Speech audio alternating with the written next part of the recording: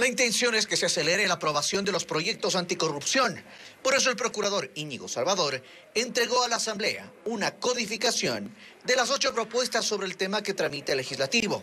Señala lo que esto significa. Es un insumo que lo que busca es poner en el mismo nivel de debate y en el mismo nivel de desarrollo del proceso legislativo interno de la Asamblea Nacional todas estas normas que estaban desperdigadas. El presidente de la Asamblea destacó la importancia de este documento y confirma su utilidad en busca de cumplir pronto con la aprobación de al menos una de las normas de lucha contra la corrupción. Nosotros creemos que es una obligación de la Asamblea con el pueblo ecuatoriano de que leyes como la ley de extinción de dominio, la misma ley anticorrupción, queden aprobadas hasta diciembre. Es que precisamente el Fondo Monetario Internacional pidió que hasta diciembre se apruebe una ley anticorrupción para desembolsar 2 mil millones de dólares para el país.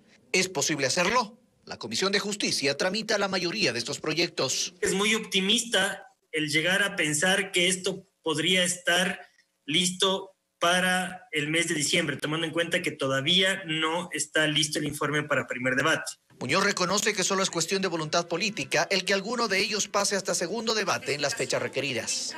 Y si es que nosotros podemos eh, efectuar acciones de, de manera prioritaria y cumpliendo, digamos, no sé, inclusive dos jornadas diarias dentro de la comisión para que se pueda llegar a este fin, es totalmente bienvenido.